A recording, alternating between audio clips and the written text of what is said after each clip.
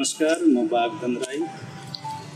आज म यो राणाकालीनमा जहाँ कुद पर्व मनाउँथे र यसलाई आज भण्डारखाल भनेर काठमाडौँ भ्यालीभित्र सहस्र सबैले चिन्ने गर्दछन् र म यही भण्डारखालभित्र छु।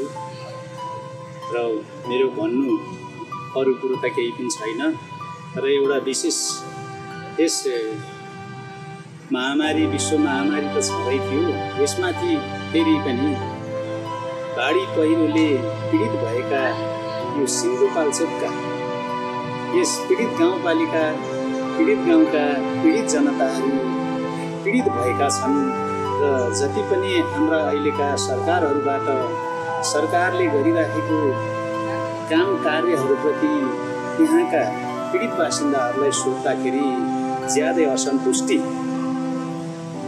जनाएको हुनाले मलाई पनि यस विषयमा असन्तुष्टि नै भयो र मैले सरकारलाई उहाँहरूको छिटो कल्याण होस् जति सक्दो कल्याण होस् सरकारले गर्नुपर्ने दिनुपर्ने जनताहरूप्रति गर्नुपर्ने आफ्नो कर्तव्य सरकारले तुरुन्तै पहल गरोस् पुरा गरोस् भन्ने मेरो यो भनाइलाई सर्वत्र नेपाली समुदायहरूप्रति म जानकार गराउन चाहँदैछु र जसको पनि एउटा आफ्नो गाउँघर आफ्नो जन्मस्थान आफ्नो पौराणिक घर पौराणिक पिता पुर्खाको गाउँमा जे जस्तो चाहिँ नै खण्डरहरू आए प्राकृतिक घटनाहरू हुन्छन् त्यस घटनाहरूप्रति हाम्रा सरकारहरूले गहिरो जिम्मेवारी नै पर्छ।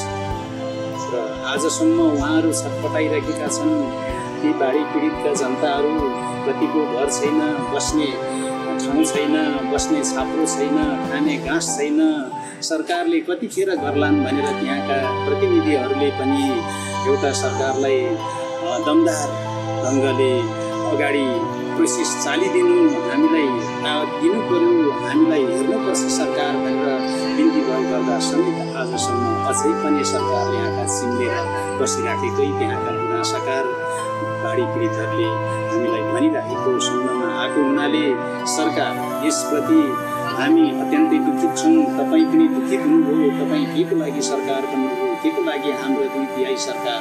सरकार तपाईँले त जनताको निम्ति पो सरकार। जनता छैन भने तपाईँ कसरी सरकार? तपाईँले त देशका तिन करोड जनताहरूलाई तपाईँले भोकर रोगबाट मार्दिन भन्ने कसम खाएर तपाईँ जानुभएको थियो र आज तपाईँले त्यो महलमा पुगेपछि चट्टै बिर्सेको महसुस भइराखेको छ। यो सरकार तपाईँले कान खोलेर सुनिराख्नु पऱ्यो। र जनताको दुःखप्रति तपाईँले अत्यन्त उत्तरदायित्व भएर गम्भीरमय ढङ्गले सिन्धुपाल्चोकका यी बाढी पहिरो पीडितहरूको कल्याणप्रति तपाईँले ध्यान दिनु। हिजो भूकम्पले पनि यही सिन्धुपाल्चोकका जनताहरूको निम्ति अत्यन्तै पीडादायी हो। आज गएर कोरोना त विश्वभरि छँदैछ छँदैछ। पहिरोले फेरि त्यहाँका जनताहरूको बास न घाँस न ठेगाना न ज्यानको न धनको कुनै पनि सुरक्षा नभएको हुनाले सरकारले त कमसेकम तपाईँले विचार त गर्नु पर्दैन त सरकार। त्यहाँका प्रतिनिधिहरूले पनि तपाईँहरूले पनि चुनेर पठाउनु भएको सरकार तपाईँहरू जनताहरूले चुनेर पठाउनु भएको सरकार सरकारलाई के भन्नुभयो त भन्नुभयो। भनेकै हुनुपर्छ। किनकि जसलाई पीडा छ उसलाई थाहा हुन्छ त्यो पीडा। मलाई आज थाहा छैन मलाई मात्र कोरोनाको पीडा थाहा छ। तर मलाई बाढी पिरेको बाढी पहिरोको पीडा छैन। तर उहाँहरूलाई विशेष पीडा छ। र उहाँहरू अत्यन्तै दुखित छन्। उनीहरू अत्यन्तै पीडित छन् र उहाँहरूको निम्ति आज कोरोनाभन्दा आफ्नो घाँस र बाँस कपासको एउटा महामारीले उहाँहरूलाई पक्क पारिराखेको यस अवस्थालाई सरकारले गम्भीर रूपले ध्यान गराउन चाहन्छु। सरकार तपाईँको महिमा सबैले जय जय मनाएकै छन् हुन सक्छ चौतर्फी तपाईँको विरोध पनि गरिराखेका छन्। हो सबैलाई सन्तुष्टि त पुरा गर्न कहाँ सकिएला र तपाईँलाई त म भन्न चाहन्छु तपाईँलाई म पूर्ण रूपले विरोध गर्न चाहेको छैन सरकार। तर सरकार तपाईँले यति गम्भीरमय विषयलाई पनि यति गम्भीरमय पीडादायी यस घटनालाई पनि तपाईँले त्यहाँ विचार नपुर्याएको देखिँदा म अत्यन्त दुखित छु। जनता तिन करोड दुखित छ। सबै जनताहरूको अगाडि तपाईँले बुझ्नुहोला जनताहरूलाई सोध्नुहोला। अरू जनतालाई त्यहाँकोलाई मात्र पीडितलाई मात्र नसोध्नुहोस्। तपाईँ नेचिङदेखि सोध्नुहोस् महाकाली सोध्नुहोस् समुदायप्रति तपाईँ सोध्नुहोस्। दुःखद भनेको के हो?